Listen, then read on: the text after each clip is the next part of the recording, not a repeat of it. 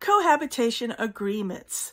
What is it? Well, it is a written agreement between two people who are not married, who are agreeing on the rights and responsibilities of each of them as roommates. And what will happen if the relationship breaks up or if one of them unexpectedly dies. You see, there are more and more cases these days where somebody files for divorce and the other side says, what do you mean? We were never married. We can't get divorced.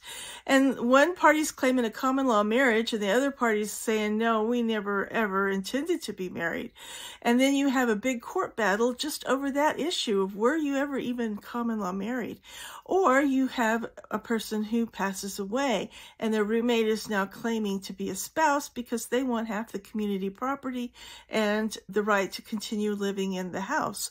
But the heirs are saying, no, you're an unmarried roommate. You have no rights whatsoever. And they want to evict you because they want to sell the house and all the property goes to the heirs instead of to the survivor.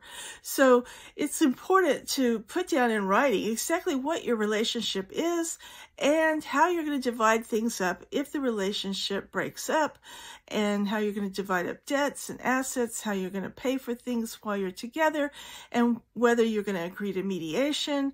There are a lot of issues that an attorney can go through and discuss with you that you may not have even ever thought about talking about before. My name is Laura Heard and I'm a family law attorney in San Antonio, Texas, and I have been helping people get through divorce and through various family law issues since 1987. Click the like button and subscribe to my channel.